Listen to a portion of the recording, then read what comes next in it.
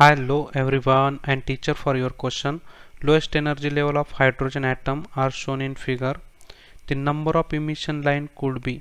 तो यहाँ पे हमें हाइड्रोजन की फोर लोएस्ट शेल दे के रखी है, और उनके अंदर नंबर ऑफ़ इमिशन लाइन कितना पॉसिबल है यहाँ पे पूछा है तो this is the spectral line ये आपकी शेल वन है energy level one energy level two energy level three और energy level four this is also part of the question तो यहाँ पे आपको ऑप्शन दिया है। तो हम यहाँ पे पता करेंगे, या तो हम फॉर्मूला से यूज़ करेंगे, नहीं तो हम स्पेक्ट्रल लाइन से भी यहाँ पे कैलकुलेट कर सकते हैं। तो नंबर ऑफ़ इमिशन लाइन क्या होता है? Number of emission line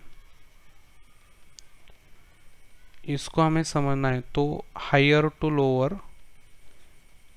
higher to lower all possible line तो higher shell to lower shell यहाँ पे ऑल पॉसिबल लाइन इसको total number of emission line बोला जाता है। तो यहाँ पे उसके लिए एक फॉर्मूला भी है total number of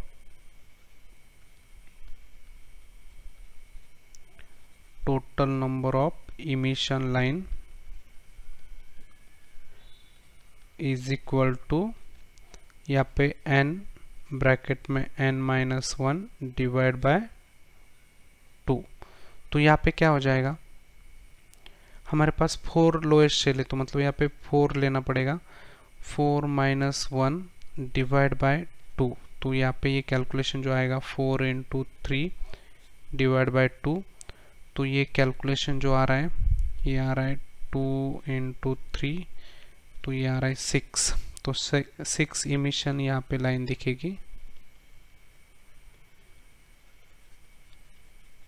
spectral line तो यहाँ पे ऑप्शन के अंदर आएगा ऑप्शन नंबर फोर तो यहाँ पे थोड़ा सा कंसेप्चुअल कंटेंट के पॉइंट ऑफ़ व्यू से यहाँ पे निकालते हैं कि जो स्टेटमेंट यहाँ पे लिखा है नंबर ऑफ़ इमिशन लाइन जो होती है वो higher to lower all possible line होती है। तो यहाँ पे fourth shell to first shell यहाँ पे एक लाइन थर्ड टू फ़र्स्ट दूसरी सेकंड टू फ़र्स्ट तीसरी तो फोर टू सेकंड यहाँ पे फोर्थ लाइन हो गई और उसके बाद ये कैल ये ड्रॉ करनी है। तो यहाँ पे देखो one two three four five six तो यहाँ पे सिक्स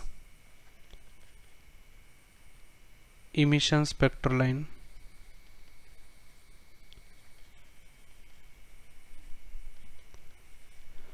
तो यहाँ पे ऑप्शन नंबर फोर जो है, वो हमारा करेक्ट आंसर हो जाएगा। I have to understand the explanation thank you